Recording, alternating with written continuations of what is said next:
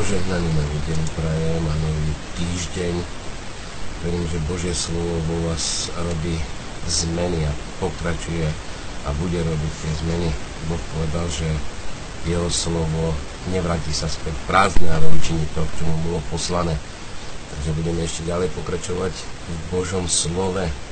Nejaká kniha nie je taká milovaná, alebo nenávidená, uctievaná, alebo zatracovaná ako Biblia. Ľudia pre ňu zomierali, ľudia kvôli nej zabíjali, inšpirovala k najslavnejším a najúšľachtilejším činom mnohí ju obvinovali za najhoršie zločiny a najzvrhlejšie skutky ľudí. Pre Bibliu sa viedli vojny, z jej stránok sa roznecoval revolučný oheň a pod vplyvom ideí sa rozpadali kráľovstva.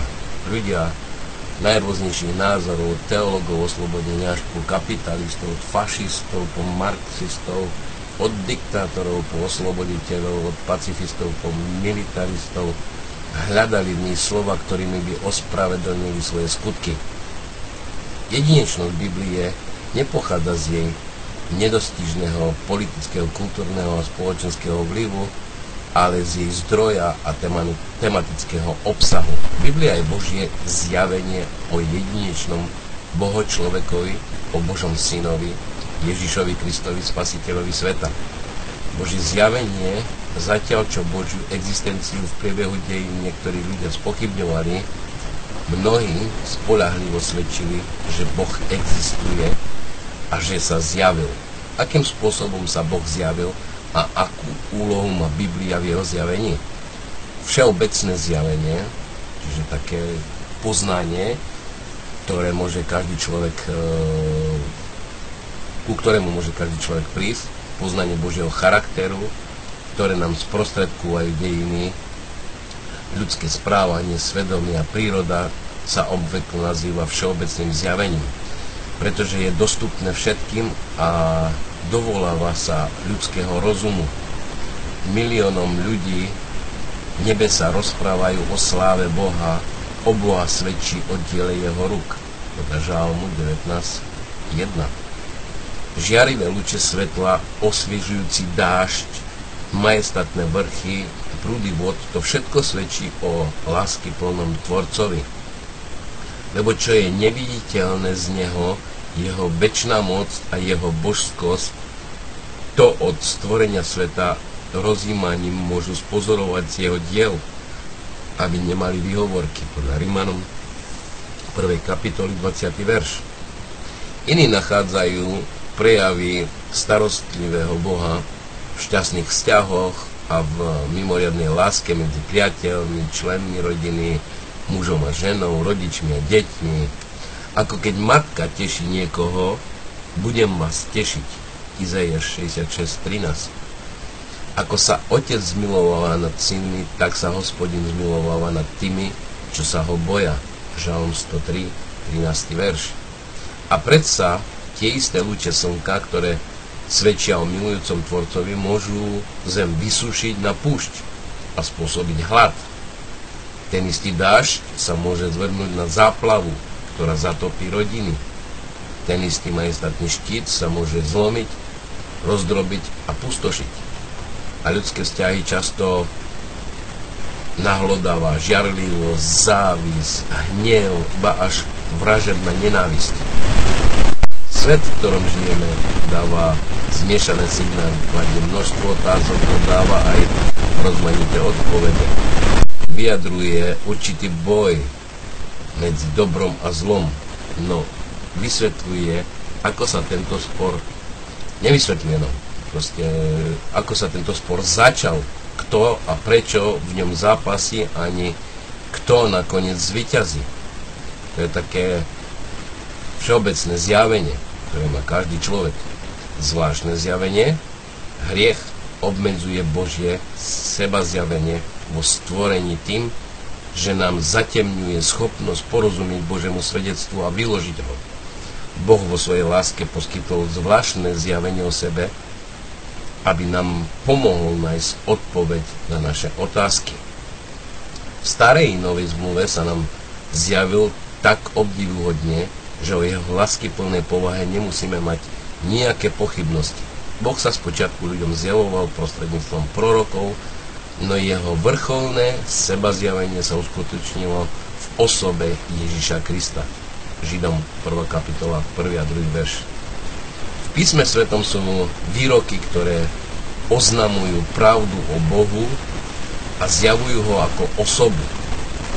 Potrebné pre oboje zjavenie máme poznať Boha prostredníctvom Ježiša Krista. Pozri si Evangelium Jána 17. kapitolu 3. verš.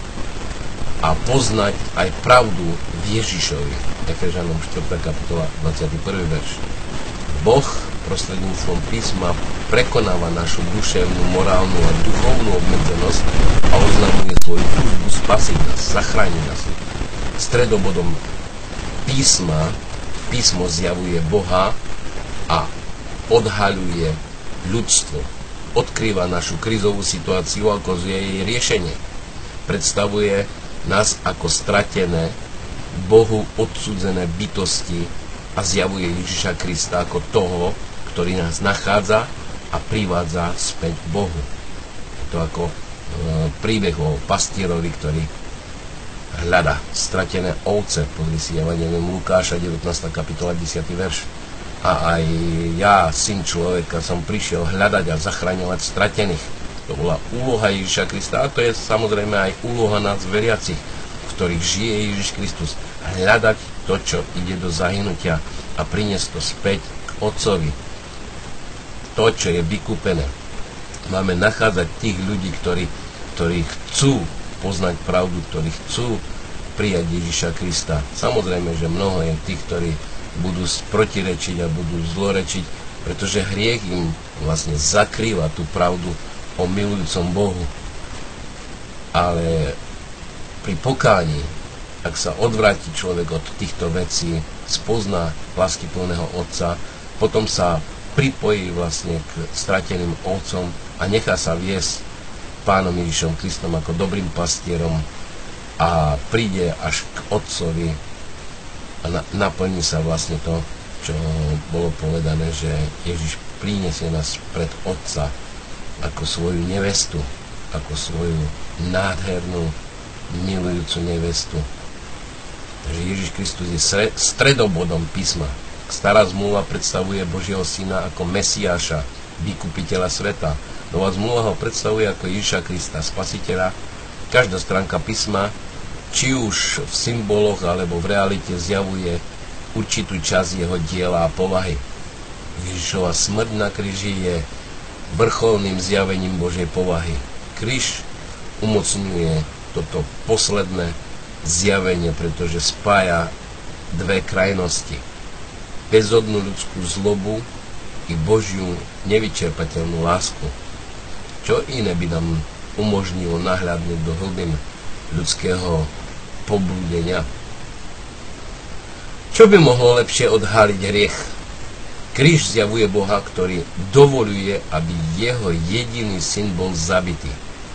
Aká to obeď? Mohol Boh dokonalejšie zjaviť svoju lásku. Prostredníctvom písma je naozaj Ježiš Kristus. On je na scéne kozmickej dráhy. Jeho víťazstvo na Golgote čoskoro vyvrcholí zničením zla. Ľudia budú s Bohom opäť spojení.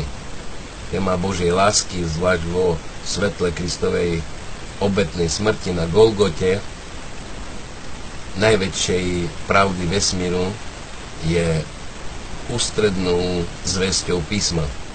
Všetky významné biblické pravdy by sa teda dali skúmať z tejto perspektívy. Pôvod Biblie Autorita Biblie pre vieru a praktický život pochádza z jej pôvodu. Jej písatelia odlišovali písmo od e, ostatnej literatúry. Zmieňovali sa o ňom ako o svetých písmach a božích výrokoch. Pozri si verše z Rímanom 1. kapitoly z 2, 3. kapitoly 2, z 2. Timotea 3. kapitoly 15, so Židom 5. kapitoly 12. Jedinečnosť písma svätého spočíva v jeho pôvode a zdroji. Biblickí písatelia tvrdili, že nie sú pôvodcami jeho posolstiev, lebo ich prijali z Božieho zdroja. Božie zjavenie ich uspôsobilo opisované pravdy vidieť. Pozri si Izaiáš, 1. kapitola, 1. verš. Ámos, 1. kapitola, 1. verš. Micháš, 1. kapitola, 1. verš. Habakuk 1.1. Jeremia 48, 21. Že písatelia biblických kníh sa odvolávajú na Ducha Svetého, ktorý posolstva oznamoval ľuďom ústami prorokov. Nehemiáš 9. kapitola 30. verš, pozrite Zacharie, e, prorok Zachariáš 7. kapitola 12. verš. David povedal, duch hospodinov hovoril skrze mňa a jeho slovo bolo na mojom jazyku. 2. Samuelova 23. kapitola 2. verš. Ezechiel píše, duch vstúpil do mňa, Duch hospodinov padol na mňa. Duch sa ma zmocnil. Ezechiel 2. kapitola 2. verš 11. 11. verš a potom 5. kapitola 24. verš. A Michiáš svedčí, plný som moci skrze ducha hospodinovho. Michiáš 3, 8.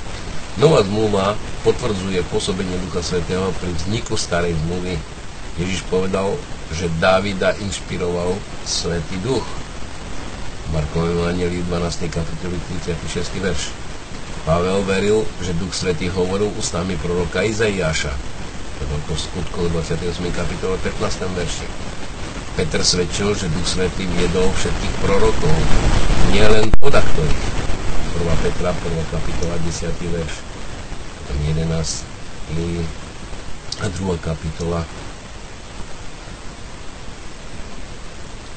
Uh, ešte raz, 1. Petra, 1. kapitola, 10. a 11. verš. A v Petrovi 1. kapitole 21. verš 2. Petra 1. kapitola 21. verš Písateľ sa občas e, dostáva celkom do úzadia, aby vynikol Duch Svetý ako skutočný autor. Duch Svetý hovorí. Týmto Duch Svetý naznačuje, Židom 3. kapitola 7. verš a 9. kapitola 8. verš. Aj novozmluvní písatelia poznali, že pôvodcom ich posolstia je Duch Svety. Pavel objasňuje, teraz Duch vyslovne hovorí, že v posledných časoch niektorí odídu od viery. 1. Timotea 4. kapitola 1. verš. Ján v zjavení spomína, že bol v duchu v deň pánov. Zjavenie 1. kapitola 10. verš. A Ježiš povoril svojich apoštolov prostredníctvom pôsobenia Ducha Svetého. Skutky 1. kapitola 2. verš. Pozri Efežanom 3. kapitola od 3. do 5. verša. Boh teda v osobe Ducha Svetého zjavil sám seba prostredníctvom písma. Nenapísal ho vlastnou rukou, ale rukami asi 40 autorov v priebehu vyše 1500 rokov. Keďže písateľov Biblie inšpiroval Duch Svetý, jej autorom je teda Boh. Inšpirácia písma, Pavel hovorí, každé písmo je dýchnuté od Boha. 2. Timotea 3. kapitola 16. verš. Grecké slovo theophesos znamená doslovne Bohom vdychnutý, inšpirovaný. Boh vdychol pravdu do mysle ľudí tí ju potom vyjadrili slovami, ktoré nachádzame v písme. Inšpirácia je teda spôsob, ako Boh oznamuje svoju väčšinu pravdu. Spôsob inšpirácie, zjavenie pochádza od Boha. Od On to vlastne inšpiroval svetých Boží, boli ľudia vedení Duchom Svetým. 2. Petra 1. kapitola 21. verš. Takže biblické zjavenie vyjadrené ľudskou rečou pri všetkých jej obmedzeniach a nedokonalostiach predsa zostáva Božím svedectvom. Boh inšpiroval ľudí, nie slova. Boli a zdá proroci takí pasívni ako magnetofónová páska, ktorá presne zaznamenáva diktát. V niektorých prípadoch e, písatelia dostali síce príkaz, aby Božie výroky vyjadrili doslovne no Boh najčastejšie použil ľudí tak, že podľa svojich najlepších schopností napísali, čo videli a počuli.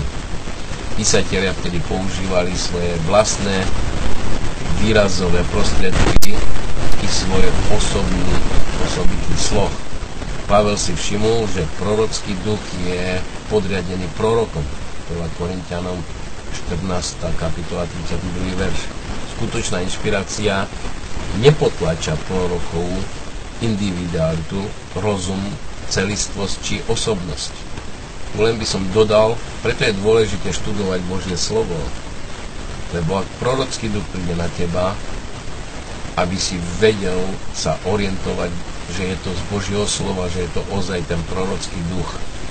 Pretože prorocký duch nebude hovoriť proti Božiemu slovu, nebude rozprávať sám za seba.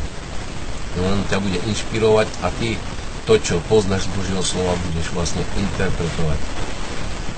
Vzťah, vzťah medzi Mojžišom a Aaronom je čas točnou ilustráciou vzťahom medzi Duchom Svetým a písateľom zvesti. Boh povedal Mojžišovi, pozri, urobím ťa Bohom pre faraóna a tvoj brat Aaron bude ti prorokom. 2. Mojžišova 7. kapitola 1. verš, pozrite 4. 4 a tiež 15. 6.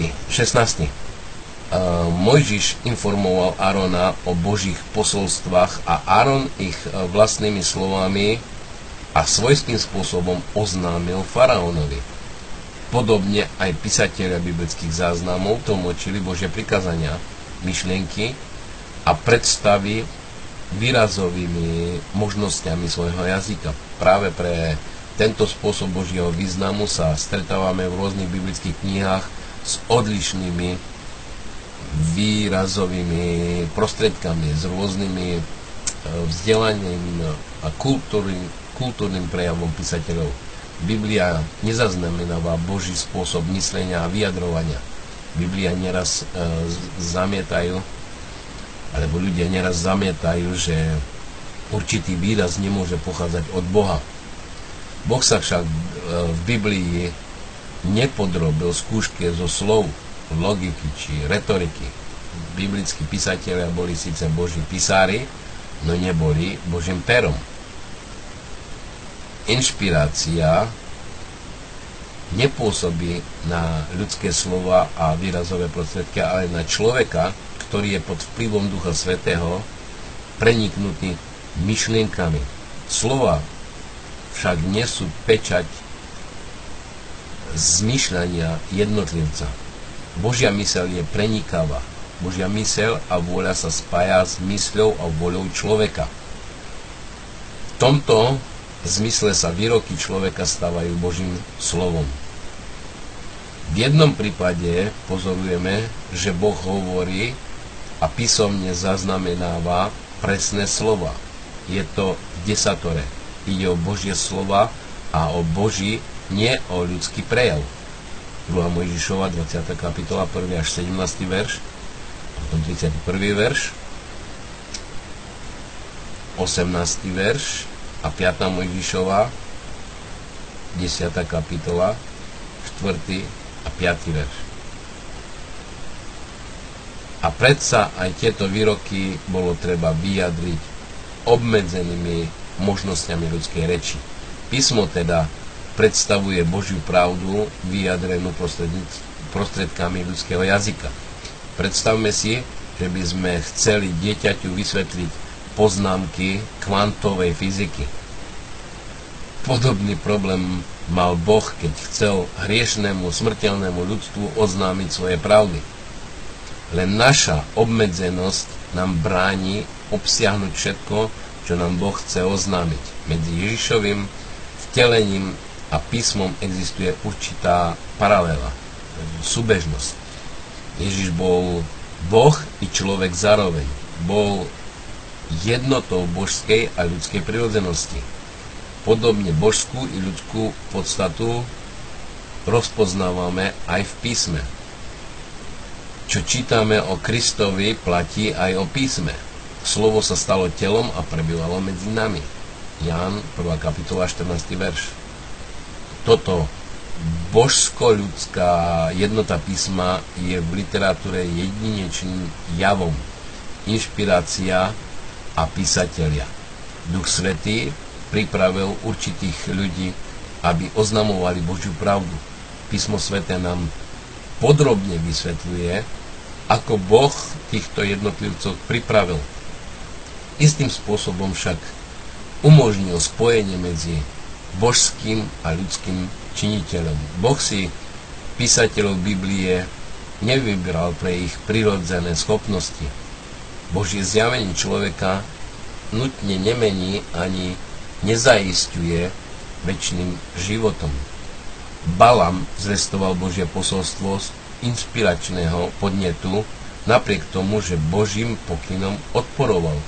4. Mojžišova 22. kapitola 24. verš.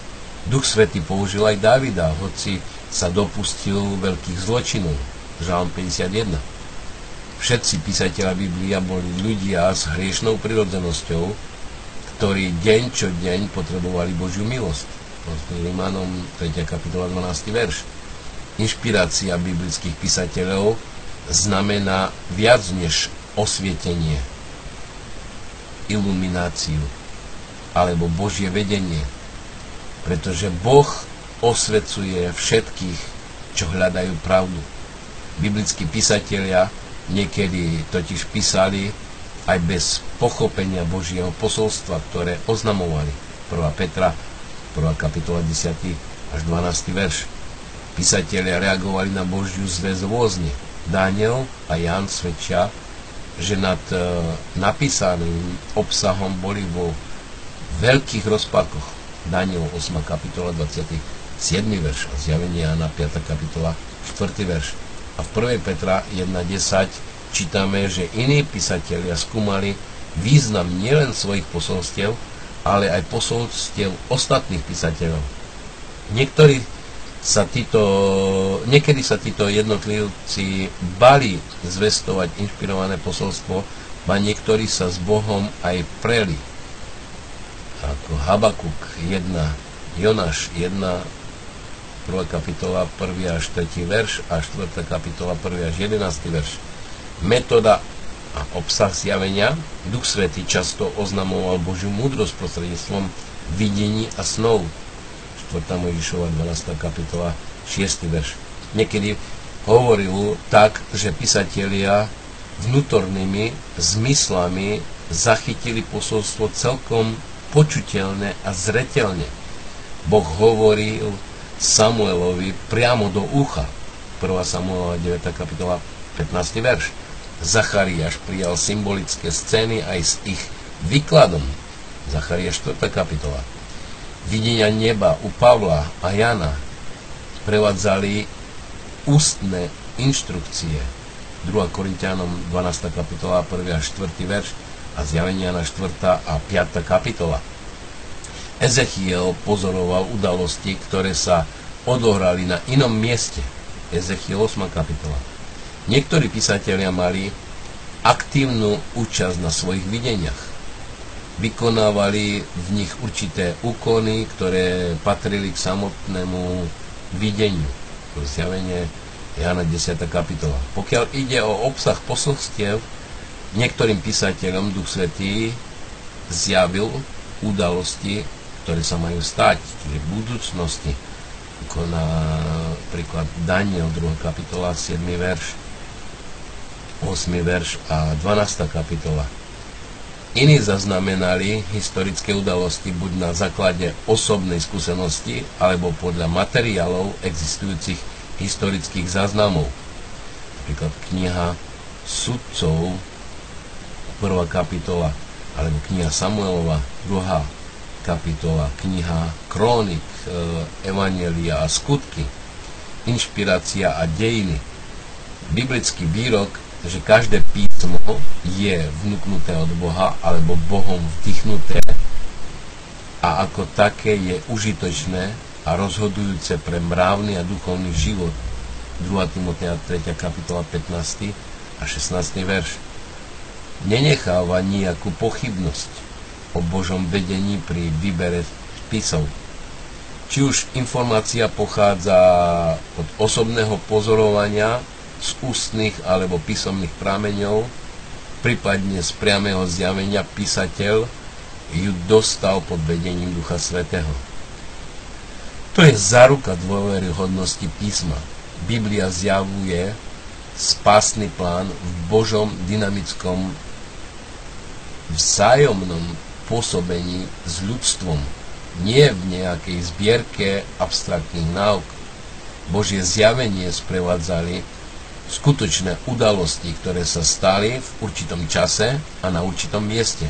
Spolahlivosť historických záznamov je veľmi dôležitá, pretože tvoria rámec našho chápania Boha a jeho zámeru s nami. Správne pochopenie vedenie k väčšnému životu, kým nesprávny názor zvádza do zmetku a zahuby. Boh rozkázal určitým ľuďom písať dejiny jeho vzťahu k Izraelovi. Tieto historické záznamy, písané z odlišného hľadiska, než aké zastáva svetská história, tvoria určitú časť písma. Pozri, 4. Mojžišova 33. kapitola, 1. 2. verš, Jozue, 24. kapitola, 25. a 26. verš, Ezechiel, 24. kapitola, 2. verš. Poskytujú nám spolahlivý a objektívny pohľad na dejiny z Božej perspektívy.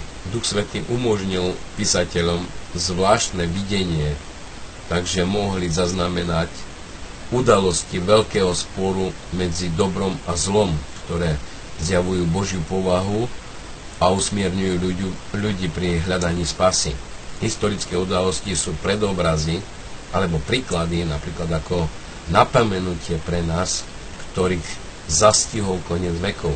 Pozri si 1.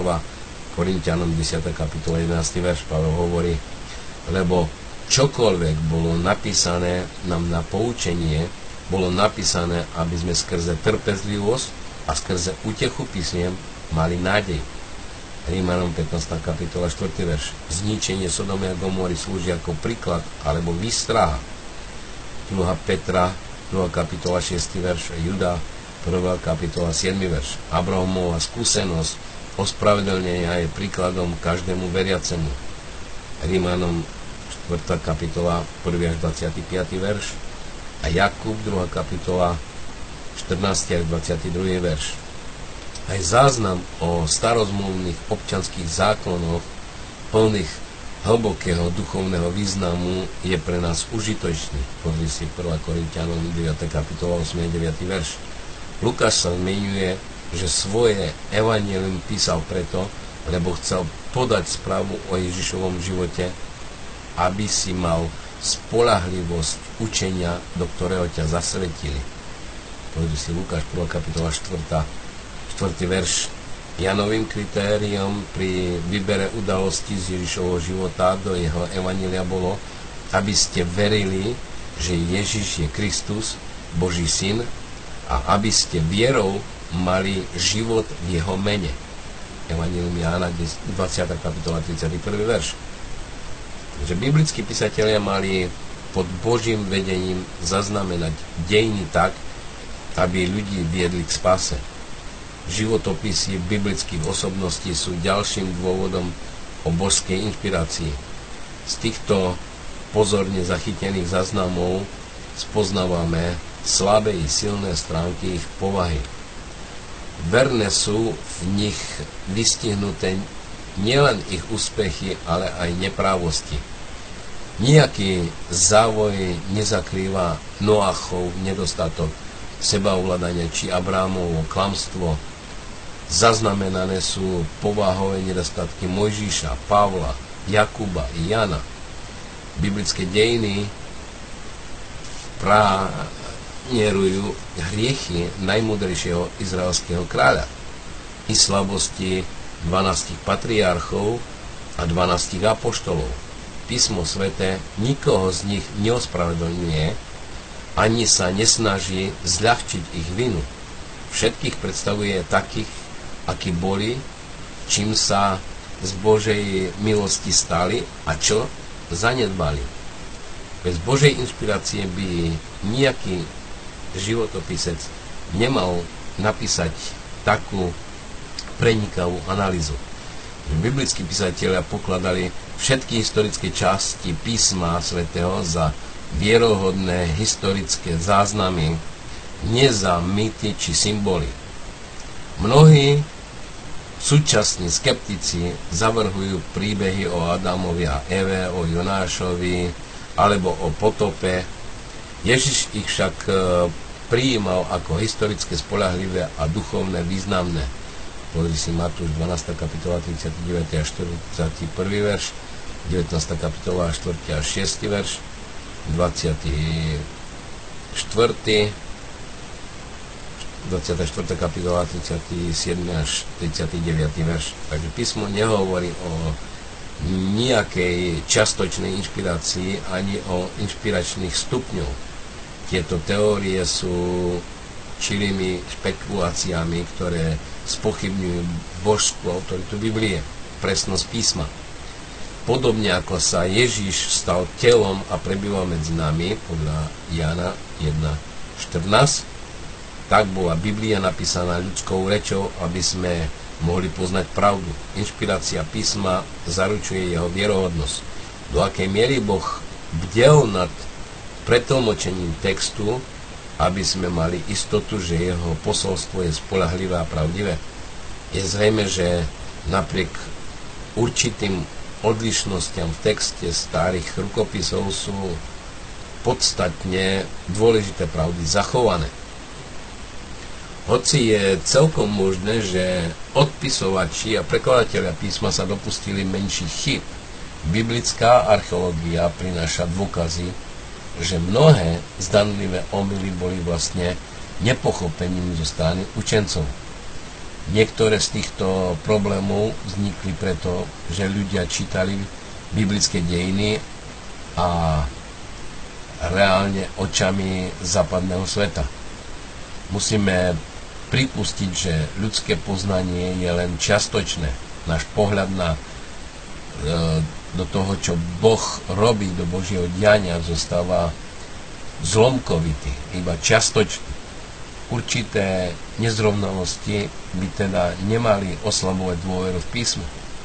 Často totiž bývajú skôr následkom nášho nesprávneho chápania, než skutočnými omylmi máme azda súdiť Boha?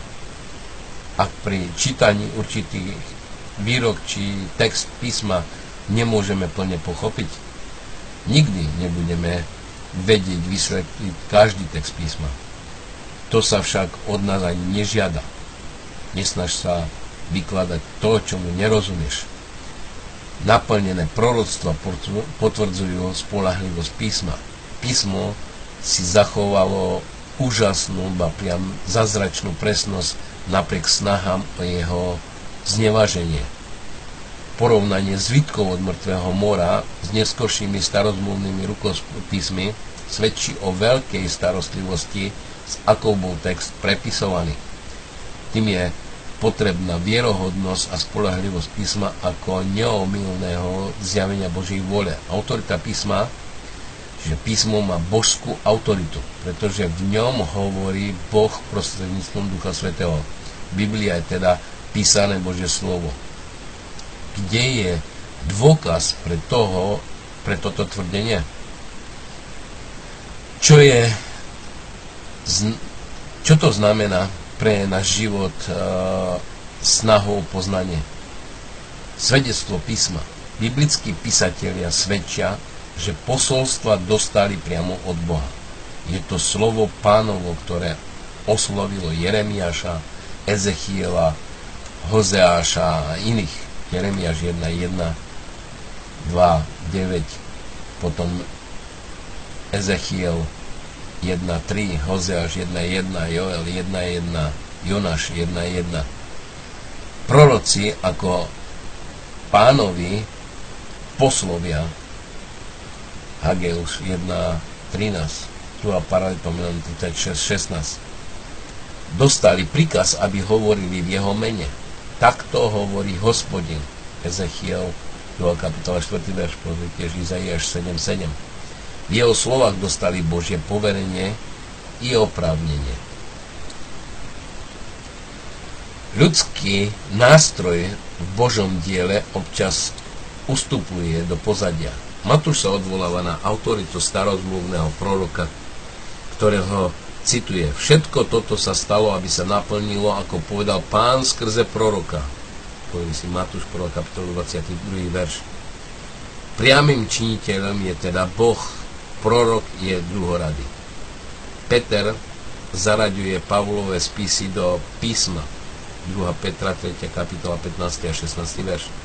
Pavel svedčí o tom, čo napísal, lebo ani ja som ho neprevzal od človeka, ani som sa mu nenaučil, ale prijal som ho zjavení Ježiša Krista. Galatianom 1. kapitola 12. verš. Novozmluvní písatelia prijímali Kristové slova ako písmo svete a pokladali ich za rovnako autoritatívne ako spisy starej zmluvy.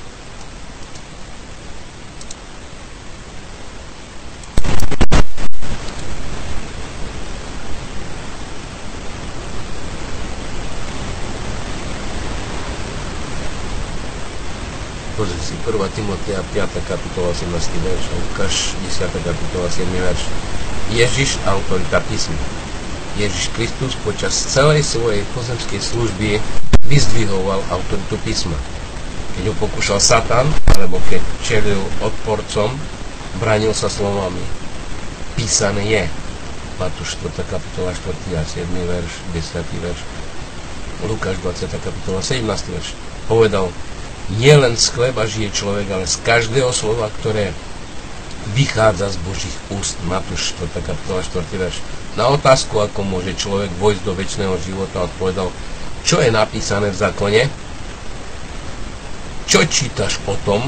Lukáš 10.26. Ježiš nadradil písmo na ľudské tradície a názor. Karhal Židov, že autoritu písma zľahčujú. Marek 7. kapitola 7. až 9. verš. A vyzval ich, aby pozornejšie skúmali písmo. Povedal, či ste nečítali, čo hovorí písmo Matúš 21. kapitola 42. verš. Pozri Marek 12. kapitola 10. a 26. verš. Neochvejne veril autorite prorockého slova a upozorňoval, že proroctva odkazujú na neho. Povedal, že písmo svedčí o ňom. Keby ste verili Mojžíšovi, verili by ste aj mne, lebo on o mne písal. Evangelium Jana 5. kapitola 39. a 46. verš. Ježišovo najpresvedčivejšie tvrdenie o jeho božskom poslaní vychádzalo z istoty, že naplňa starozmluvné proroctva. Lukáš 24, 25. až 27. verš.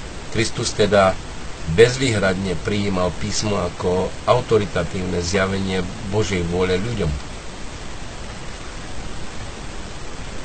pokladal ho za stelesnenie pravdy a objektívne zjavenie, ktorého účelom je vyvádzať ľudí z temnoty falošných tradícií a mytov do pravého svetla spásného poznania. Tu svetý autorita písma, náboženskí vodcovia ani ľahostajný dav nepopreli alebo nepostrehli počas Ježišovho života skutočnosť, totožnosť spasiteľa. Niektorí sa nazdávali, že Ježiš je prorok, ako bol Jan Krstiteľ či Eliáš, ale Jeremiáš, a teda len človek. Keď Peter vyznal, že Ježiš je Kristus, syn živého Boha, spasiteľ mu pripomenul, že len Božie svetlo mu umožnilo takto vyznať. Pozri si Matúš 16. kapitola 13. až 17. verš. Pavel zvýraznil túto pravdu, keď napísal Nik nemôže povedať Ježiš je Pán, iba ak Duchu Svetom. 1. Korintianom 12. kapitola 3. verš. Tak je to aj s písaným Božím slovom. Ak nám Duch Svetý neosvietí mysel, písmo nikdy správne nepochopíme. a neuznáme, že je prejavom Božej zvrchovanej vole. Keďže veci Božie nepoznal nikto, iba duch Boží. 2 Korintianom 2. kapitola 11. verš. Je zrejme, že prirodzený človek nepríjima veci ducha Božieho, lebo sú mu bláznostvom a nemôže ich poznať, pretože ich treba duchovne rozsudzovať. 1. Korintianom 2. kapitola 14. verš. Preto je slovo o kríži bláznostvom tým, čo hynú. 1. Korintianom 1. kapitola 18. verš. Človek sa môže presvedčiť o autorite písma ako o zjavení Boha a jeho vole len pomocou Ducha Svetého, ktorý skúma aj rodiny Božie. 1. Korintianom 2. kapitola 10. verš. Len vtedy sa kríž stáva Božou mocou. 1. Korintianom 1. kapitola 16. verš. A človek môže s Pavlom dosvedčiť, my sme nedostali Ducha Sveta, ale Ducha, ktorý je z Boha, aby sme vedeli, čo nám Boh daroval. 1. Korintianom 2. kapitola 12. verš. Písmo Sveté nemožno nikdy oddelovať od Ducha Svetého. Duch Svetý je autor i zjaviteľ biblickej pravdy. Autorita Písmo Sveté nemožno nikdy oddelovať Ducha Svetého. Duch Svetý je autor i zjaviteľ biblickej pravdy. Autorita písma v našom živote rastie alebo upada podľa toho, akú predstavu máme o inšpirácii ak písmo chápeme len ako zbierku ľudských svedectiev, alebo ak jeho autoritu hodnotíme podľa toho, ako nám rozochvieva pocity a nalady, potom jeho autoritu vo svojom živote podrývame. Takisto príklad, ak, ak viac dávaš e, pri chodení s pánom na pocity, ako sa príjemne cítiš, ako ťa Duch Svetý naplňa, ako, ako prežívaš rôzne pocity, ak dávaš pozornosť tomu a nie tomu, že aj keby som nič necítil, Božie slovo je vždy pravda, čiže zakladám svoj život na pravde, ktorú e, zjavuje Božie slovo. Tak môžeš padnúť do takého omylu, že necháš sa viesť pocitmi. Pocity sú tvoja duša. Není to tvoj duch. Tvoj duch rozumie pravde. Tvoj duch verí v pravdu. Tvoj duch a slovo sú jedno. Takže nedávaj príliš svoj život, nebuduj na pocitoch, nebuduj na, na skúsenostiach, ale buduj na poznaní Božieho slova. Len vtedy sa nám písmo stane absolútnou autoritou vo veciach učenia, karhania, nápravy a zvestovania v spravodlivosti. Podľa 2. Timoteja 3. kapitoly 16. verš. Keď rozpoznáme Boží hlas, ako hovorí prostredníctvom biblických písateľov, nech už boli akokoľvek slabí a ľudský nedokonalí, rozsah autority písma. Spory medzi písmom a vedou bývajú neraz dôsledkom špekulácií. Ak sa nám nedarí zosúľadiť vedu s písmom, preto potom ešte, že dokonale chápeme buď vedu alebo zjavenie. Pretože oboje správne pochopené je navzájom v dokonalom súlade.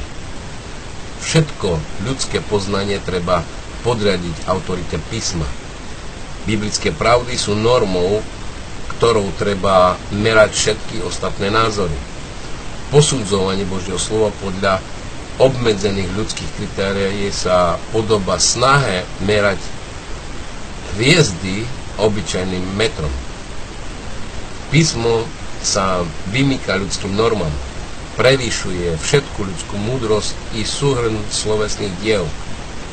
Neprislúcha nám súdiť písmo lebo ono bude súdiť všetko, pretože je meradlom povahy a skúšobným kameňom každej skúsenosti a myšlenky.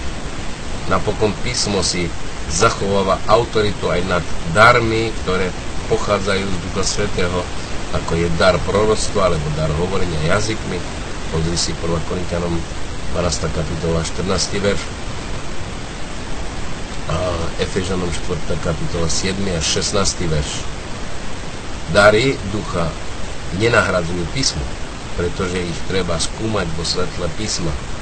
A ak sa s ním nezhodujú, treba ich pokladať za dary nepravé k zákonu a svedectvu. Izaiáš 8. kapitola 20. verš, ktorý 17. kapitolu aj tieto knihy. Jednota písma, povrchne, čítanie písma vedie k jeho povrchnému chápaniu. To takto číta písmo, tomu sa môže javiť ako zmeť rozmanitých príbehov, kázni a dejinných udalostí. Tí však, čo príjmajú svetlo Božieho ducha a skryté pravdy, hľadajú ochotne, trpezlivo a modl- s modlitbou spoznajú v písme základnú jednotu učenia o zásadách spásy. Písmo nie je jednotvárne. Skôr je v ňom bohatá pestrofarebnosť, súladu, svedectiev vzájomnej a pozoruhodnej krásy pre svoju rozmanitosť perspektív môže z každej, v každej dobe úspešne vychádzať v ústretí ľudským potrebám. Boh sa nezjavil ľuďom v podobe nejakého reťazca nepretržitých výrokov, ale postupne prostredníctvom mnohých generácií. Či už robil záznamy Mojžiš v Madianskej púšti, alebo Pavel v rímskom väzení, knihy, písma podávajú jednoznačnú duchom inšpirovanú zväzť. Ne, vlastne pochopenie tohto postupného zjavenia pomáha vidieť písmo v jeho jednote. Aj keď pravdy starej a novej zmluvy pochádzajú z rôznych generácií, nemožno ich oddelovať. Vzájomne si neprotirečia. Dve zmluvy tvoria jednu a to je jeden Boh. Stará zmluva prostredníctvom proroctiev a symbolov zjavuje evanelium o budúcom spasiteľovi. Nová zmluva prostredníctvom Ježišovho života zjavuje spasiteľa, ktorý prišiel, teda evanelium v skutočnosti oboje zjavenie toho istého Boha. Stará zmluva je základom a kľúčom na pochopenie novej. Nová zmluva vysvetľuje tamstvo zmluvy starej. Boh nás milostivo pozýva, aby sme sa zoznamili s ním skúmaním jeho slova. V ňom môžeme nájsť hojne požehnanie istoty spasenia. Z vlastnej skúsenosti môžeme poznať, že písmo je užitočné na poučenie, na usvedčovanie, na nápravu, na výchovu a spravodlivosť. Písmo nám môže pomôcť, aby sme boli dokonali a spôsobní na všetko, aby sme boli pôsobní alebo prispôsobení k tomu, aby sme robili dobré skutky. Timotea 5. kapitola 16. a 17. verš. Buďte poženaní pri tomto štúdiu. Niektoré veci Eh, nie sú až také zaujímavé pre mnohých. Možno, že vás nezaujímala tá história okolo všetkého, okolo toho písma, ale len tie informácie, aby ste mali, jak to vlastne vznikalo, prečo to bolo písané. Niekto vám môže povedať, že protirečí si Božie slovo, tak je to z toho dôvodu, že nepozná a proste iba Boží môže to vykladať. A my sa nesnažíme Božiu pravdu nejakým spôsobom obhajovať. Boh je ten, ktorý obhajuje svoje slovo. A ten, kto chce prijať, to príjme. Ten, kto nechce prijať, aj keby si mu tie najlepšie veci z Božieho slova vybral, on ich nepríjme. Takže nie je to na nás. Na nás je zvestovať a kto príjme, bude zachránený, kto nepríjme, bude zatratený. Nebuďte požehnaní pri ďalšom štúdiu Božieho slova. Pána Ježiša. Amen.